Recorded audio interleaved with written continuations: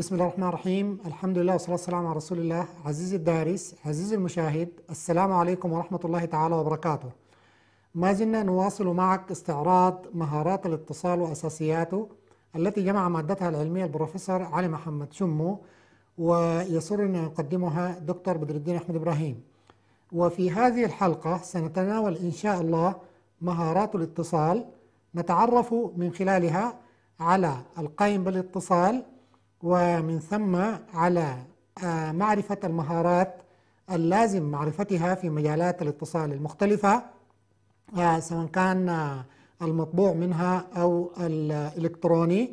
وحتى نصل إلى معرفة التطورات الحديثة في الاتصال من ثورة المعلومات وثورة الاتصالات وما صاحبها من مهارات ضرورية للقائم بالاتصال معرفتها إن شاء الله.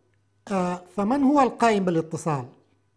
القائم بالاتصال هو فرد يتمتع بقدر عال من المهارات والقدرات الاتصالية المؤثرة والمقنعة للمستهدف بالرسالة وهو أي القائم بالاتصال آه، هو المذيع أو المعلم أو المخبر أو المحرر أو المصور أو السياسي أو البائع في المتجر أو الخطيب في المسجد أو مدرب فريق الكرة أو الطبيب أو الممثل أو المخرج أو المبرمج للحاسوب أو المشرف على موقع الإنترنت أو أمين المكتبة إلى غير ذلك.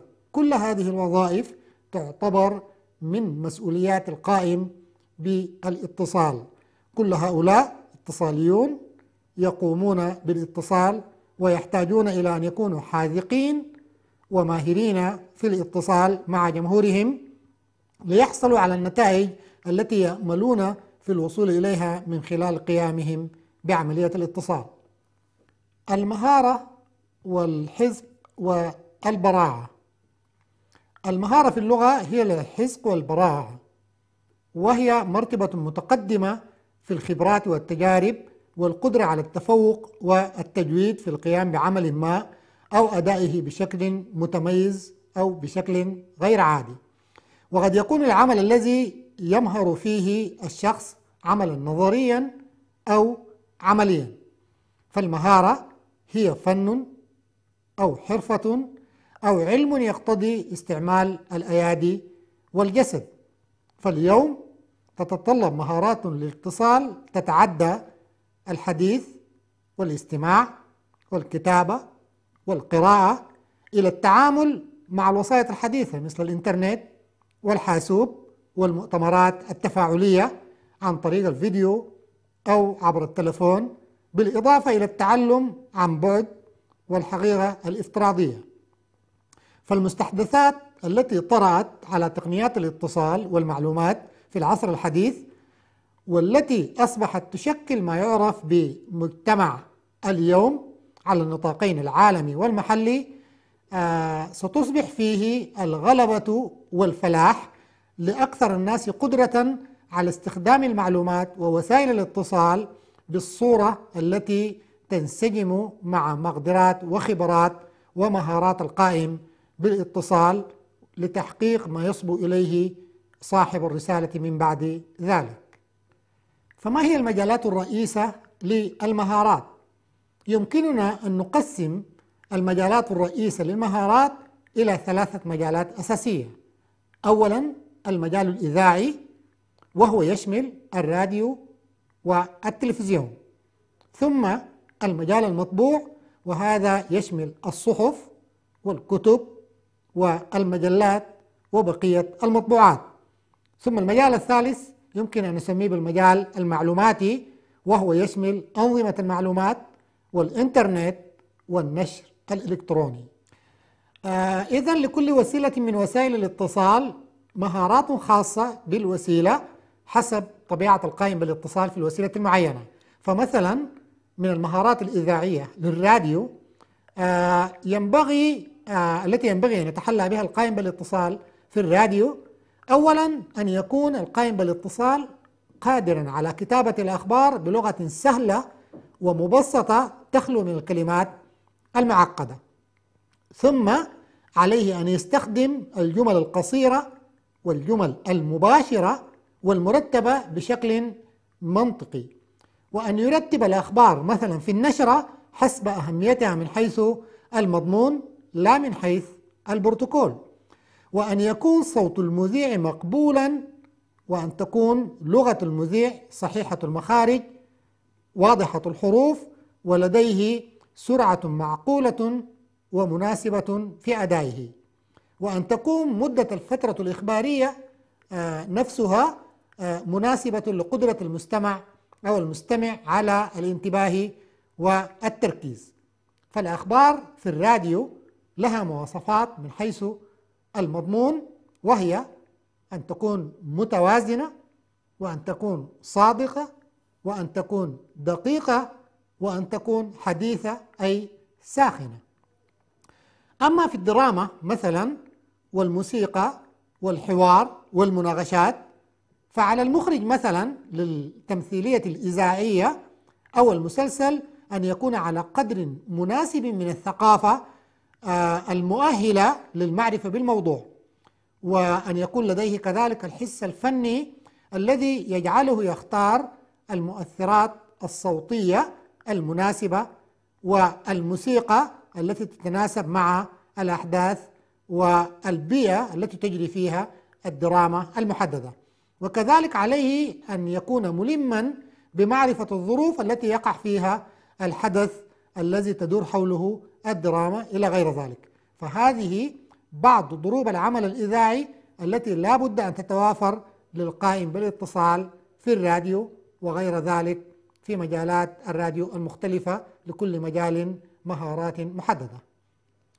آه، في التلفزيون نحتاج لمجموعة من المهارات آه، المتخصصة حسب الوظائف التي تؤدى آه، حسب الدور الاتصالي في التلفزيون. فمثلا للتصوير الإلكتروني نحتاج لنوعية من المهارات مثل مهارات تحريك الكاميرات في الاتجاهات المختلفة وكذلك مهارة اختيار اللقطات المناسبة للبرنامج المحدد بجانب مهارة المعرفة والقدرة على التعامل مع الكاميرا أثناء البرنامج بالنسبة للمذيع في حالة قراءة الأخبار كي يشكل حضورا لدى جمهوره بصورة مناسبة. وكذلك هنالك مهارات مثل مهارة متابعة شريط الأخبار أو نص السؤال المطلوب من المذيع. آه، توجيهه أثناء النشرة للفرد خارج الاستوديو عن طريق التليبرومتر آه، وكذلك من المهارات المطلوبة في التلفزيون مهارة التعامل مع الصور الإلكترونية القادمة من خارج الاستوديو كصور المراسلين وصور الوكالات المختلفة. أيضا من المهارات المطلوبة في التلفزيون مهارة آه، تعرف إمكانيات وقدرات الكاميرات التي نتعامل آه، بها وحتى يسهل التعامل مع الكاميرا بالقدر الذي يمكن من إخراج صورة جيدة تحمل الرسالة وتوضح المضمون الذي يراد ومن المهارات أيضا لا بد للعاملين في التلفزيون والمتخصصين من معرفة خصائص ومزايا الألوان وتركيباتها ودرجة حساسية الكاميرا لكل لون من الألوان التي يمكن أن تستخدم. ومواصلة لمهارات العمل في التلفزيون أيضا هنالك مهارات يتطلبها نظام الإضاءة في التلفزيون. فلا بد للقائم بالاتصال والعامل في مجال الإضاءة في التلفزيون أن يدرك أنواع الإضاءة المطلوبة مثل الإضاءة الرئيسة ال key light آه، لتحديد الموضوع بوضوح ثم الإضاءة الخلفية لإضاءة آه، الديكور بما يتناسب مع الموضوع الأمامي دون أن يؤثر عليه والإضاءات الجانبية لتوضيح معالم وإزالة الظلال التي توجد من الإضاءة المحددة. آه، من المهارات المطلوبة أيضا في التلفزيون آه، مهارات الحضور والمواجهة.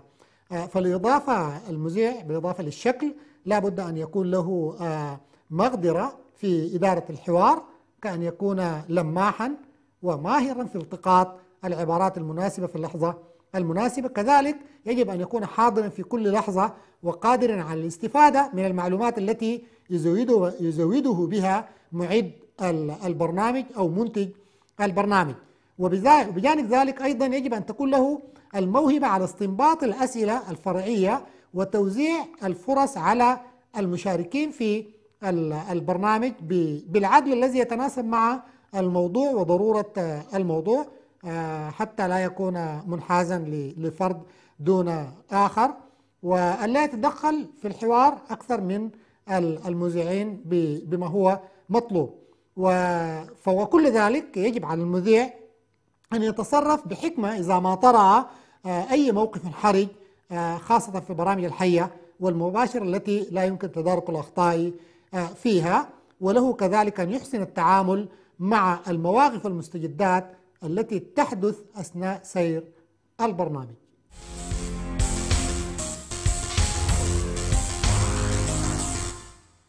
في الصحافة آه، هنالك أيضا مهارات خاصة بالقائمين بالاتصال في في الصحافة ونأخذ منهم مثلا المخبر الصحافي أو الصحفي. آه، لا بد أن تكون له الحاسة المرهفة التي آه، يلتقط بها مؤشر الحدث والواقعية وكيف يبدأ القصة الخبرية التي يريد أن يقدمها. كذلك لا بد أن تكون له المقدرة في الاقتحام والوصول إلى مواقع الخبر ومصادر الخبر والتغلب على ما يعترضه من مشكلات آه، آه، لوجستية مشكلات أمنية خاصة في أوقات الأحداث الأول والإضطرابات المعينة. وله كذلك أن يكون المقدرة على استيعاب المعلومات والتفاصيل وأن يستبقيها في ذاكرته إلى حين كتابتها إن لم يكن له جهاز آه، للتسجيل يساعده على ذلك. وله كذلك أن تكون القدرة على ترتيب المعلومات وإرادة بأسلوب آه، ينسجم مع المنطق آه، الذي يحكي قصة كاملة. وله كذلك التعبير بأسلوب يتجاوز الإسهاب الممل أو الاختزال المخل وأن يتناول مفردات تكون مفهومة لجمهور القراء. وله كذلك أن تكون مقدرة على تقديم الأسئلة في حالة الحوارات بأسلوب واضح آه، وحتى ولايق حتى يشجع المسؤول أو المستطلع على الإجابة بروح طيبة. وأن لا يشعر يشعر المستطلع بأنه في استجواب كأنه في في حالة بتاعت اتهام آه، بصورة معينة. وله كذلك أن يتقن اللغات الأجنبية خاصة في حالة الحوارات التي تقتضي آه، آه، حضور زي المؤتمرات العالمية وغيرها. وأن تكون روايته للأخبار صادقة وأن تكون كذلك دقيقة وشاملة فأن يتميز بالصدق وبالتوازن والدقة في إعداد الأخبار وأن يتجنب الانحياز بقدر الإمكان بما يؤثر على نوعية الأخبار الملتقطة بواسطته آه، من الشخصيات الأخرى في الصحافة آه، مهمة آه، إلمامة أيضا بالمهارات المحرر ولا بد أن تكون له القدرة القدرة على الصياغة بلغة سليمة وواضحة وأن يعد الخبر بلغة سهلة ومبنية مبنية بحيث يحتوي كل عناصر التي يتضمنها المخبر في الخبر للرواية المعينة. وله كذلك التمكن من اللغة العربية نحوا وصرفا ومن اللغة الإنجليزية التي تكتب بها غالبية الأخبار وكذلك اللغات الأخرى التي يمكن أن تفرض عليه بشكل أو آخر. وكذلك له القدرة على تحديد الزمن الذي تستغرقه قراءة الخبر بحيث يكون استيعاب القارئ له ممكنا في وقت آه، وجيز. وأيضا أن يتمتع بالقدرة على الاختزال والاختصار آه، في إعداد الخبر بحيث يكون استيعاب القارئ له ممكنا كما ذكرنا. وكذلك له الدقة في صياغة وتصحيح الأخطاء التي يمكن أن ترد من المخبرين لأنه هو البوابة قبل الأخيرة في خروج المعلومات للقارئ. آه، من الشخصيات المعنية أيضا بالمهارات في الصحافة كتاب الأعمدة. وكتاب الأعمدة آه، هم المرتكزات التي تقوم عليهم الإضافات الحقيقية في الصحافة. فبحكم التكرار والعادة يكتسبون مهارات التعبير السلس والموجز والمتناسق والمكتوب باللغة التي يفهمها قراء العمود.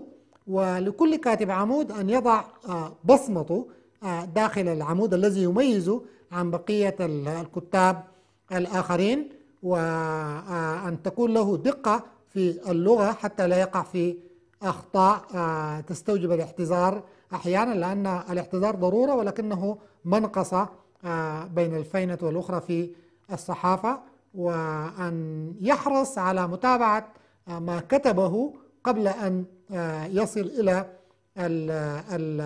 القارئ حتى يطمئن على أن ما ذكره من آراء كتبت بالطريقة التي يودها هو.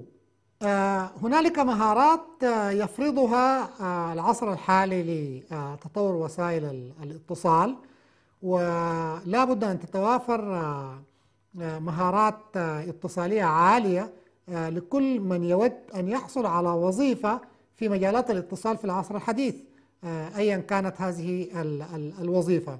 لأن العصر أصبح هو عصر الرغمنة أو المرقمة وبالتالي يتطلب معرفة مجموعة من المهارات العامة. مثلا لابد من الدقة في المعرفة الوظيفية المعرفة المرئية المعرفة العلمية المعرفة التقنية المعرفة الثقافية المعرفة المعلوماتية التفكير المبدع والوعي الكوني والاتصال الفعال والإنتاجية المرتفعة. هذه أصبحت مهارات عامة يجب لكل المتعاملين في العصر الحديث وكل المتقدمين لوظائف أن يلموا بها إلماما دقيقا لأنها قطعا ستكون واحدة من الاستخدامات الضرورية وواحدة من تحديات القرن الحادي والعشرين الآن. تكملة لهذه المهارات لا بد أن نقف على التحديات التي فرضها العصر الحديث وتطور تقانة الاتصال فيه وما يعرف بثورة المعلومات وثورة الاتصالات وثورة المعلومات يمكن بدأت في منتصف القرن الماضي كانت البداية الحقيقية لها عندما دخل الحاسب الآلي إلى حلبة المشاركة في عمليات الاتصال وأصبح هو المنصة التي تنطلق منها كل عمليات الاتصال الحديث. والإمكانيات التي يتمتع بها الحاسب الآلي جعلت من الاتصال الحديث هو اتصال تفاعلي واتصال وفقا للطلب واتصال واقعي كذلك في كثير من الأحيان.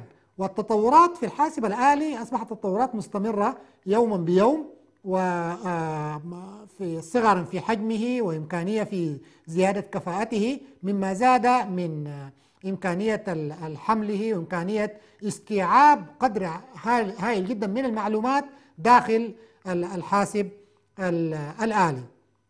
فأصبح المشاركة في في في صنع المعلومات ووضع الأسس والمعايير المطلوبة للحصول على المعلومة في العصر الحديث هي واحدة من الضرورات المرتبطة بتزاحم المعلومات وقوتها والتي فرضت كذلك هذه المعلومات لا بد لها من مواعين للتخزين فلذلك ظهرت كثير من ال ال أدوات الأرشفة الإلكترونية العالية ومجالات التخزين المختلفة حتى مع الكمبيوترات المحمولة مثلا نجد ال ال ال ال ما يسمى بال hard disk أو الذاكرة الإضافية التي يمكن أن, أن تحمل فيها كمية هائلة جدا من المعلومات. كل هذا حدث بما يعرف بثورة المعلومات وانتشار في العالم. مع ثورة المعلومات هنالك مصطلح ثورة الاتصالات. وثورة الاتصالات ارتبطت أيضا بظهور الأقمار الاصطناعية التي تجاوزت بها حدود الزمان والمكان والإضافة الضوئية. إضافة للحاسب الإلكتروني الطبيعي الذي نتعامل معه. والأقمار الاصطناعية كانت بداياتها في 4 أكتوبر 1957 عندما فاجأ السوفيت العالم لأول مرة بإطلاق أول تابع صناعي وكان قمرا صناعيا للاتصالات اسمه سبوتنيك وأطلق على مدار منخفض اللي هو حوالي 150 كيلومتر فوق الأرض. ودار لمدة 90 يوما فقط. التجربة السوفيتية هذه في إطلاق التوابع على الأقمار الاصطناعية للفضاء أوجدت الكثير من المخاوف حول العالم ومما دعا الأمم المتحدة لإصدار مبادئ تحكم الفضاء الخارجي لأن كل إنسان يستطيع أن يصنع مركبة ويرسلها للقضاء. وتكلت الجهود آه، الأمريكية بالتحدي السوفيتي الذي انفرد ففي عام 1960 استطاع الأمريكان النجاح في إطلاق قمرين اصطناعيين للاتصالات هما إيكو 1 أو إيكو 1 وإيكو 2 آه، وتمكنت الولايات المتحدة أيضا في إطار السباق نحو الفضاء من أن تغلب الاتحاد السوفيتي في الوصول لما يعرف بالمدار الثابت لأن ال ال هذه نبوءة لكلارك يتحدث أنه إذا استطعنا أن نوصل القمر إلى مسافة 36 ألف كيلومتر فوق الأرض يستطيع القمر أن يدور بحيث سرعة دوران الأرض فبالتالي يكون الالتقاط من القمر للشخص في, في, في, في الأرض ثابت باعتبار أن الدوران سيكون آه، وهذا ما يعرف بالأقمار المتزامنة. وفي مجال هذه الأقمار استخدمت في مجالات مختلفة من ضمنها مجالات البث الإذاعي والبث التلفزيوني. وظهرت موجات عريضة تستوعب ذلك ما يعرف بموجات ال K U band أو ال K A U band التي تستوعب الصوت والصورة بجودة عالية آه، مكنت من الوصول آه، بالفضائيات وانتشار الفضائيات حول العالم. وظهر ما يعرف بالبث المباشر اللي هو ال direct broadcasting to home باعتبار انه كل إنسان يستطيع الآن أن يلتقط آه، الفضائيات بطبق فضائي ثقيل جدا موجود داخل منزله ايا كان في أي نقطة من نقاط العالم المختلفة. فبالتالي آه، صاحب الفضائية المعينة يستطيع أن يحدد الجمهور الذي يريده وبالتالي يستطيع أن يحدد نوعية الأقمار التي يمكن أن يشترك فيها. مع العلم بأن القمر الاصطناعي يستطيع أن يغطي 42% من مساحة الكرة الأرضية فالاشتراك في ثلاثة أغمار يعني تغطية آه، كل العالم بصورة آه، أساسية. و يجدر بنا أن نذكر في مجال الأقمار الاصطناعية بأن القمر الاصطناعي له عمران عمر افتراضي وعمر تصميمي وعمر تشغيلي. العمر التصميمي حوالي 12 عام والعمر التشغيلي هو 15 عام. بعد ذلك يصبح القمر غير صالح فبالتالي لابد أن تكون هناك احتياطات للأقمار الاصطناعية تطلق مباشرة حتى لا يحصل خلل بسقوط الأعمار أو خروجها من مداها بصورة آه، محددة. أكملت ثورة الاتصالات ما يعرف بالألياف الضوئية وهي التي غطت كشبكات معظم المناطق بمساحات واسعة جدا وتستطيع الألياف الضوئية أن تحمل الصورة والصوت وكل المعلومات آه، لمسافات تتجاوز بها كثير من المشكلات في إطار البث الفضائي لأنها نظام آه، محدد وكيبل مضمون الوصول ومضمون القوة. بالنسبة له في الوصول للجهة الأخرى. تعتبر الإنترنت آه، شبكة المعلومات الدولية هي خلاصة أو تجميع لتكامل ثورة المعلومات وثورة الاتصالات. والمعروف أن الإنترنت آه، في بداياتها آه، وجدت في آه، وزارة الدفاع الأمريكية منذ العام 1969 وظلت تستخدم في في حالة الاستخدامات العسكرية إلى أن العام 1993 94 ظهر الاستخدام التجاري للإنترنت وأصبحت متاحة حول العالم وغيرت مفاهيم الاتصال ومفاهيم المعلومات ومفاهيم التواصل الاجتماعي وكل أشكال العمل بأشكاله آه، المختلفة. فالإنترنت آه، هي تحتاج فقط لحاسوب ووسيط للربط. ووسيط للانتقال مثل الميكروويف ومودم للإتصال وقمر صناعي للانتقال حول العالم وجهات خادمة بصورة أساسية. فالإنترنت تعتبر الآن ثورة الثورات وهي جماع ثورة الاتصالات مع ثورة المعلومات. عزيزي المشاهد عزيزي الدارس آه، طفنا معا في هذه الحلقة. حول المهارات الضرورية الواجب اتباعها بالنسبة للقائم بالاتصال حسب نوعية الوسيلة المعينة وحسب مطلوبات الاتصال في العصر الحديث. إلى أن نلتقيك في حلقة قادمة. السلام عليكم ورحمة الله وبركاته.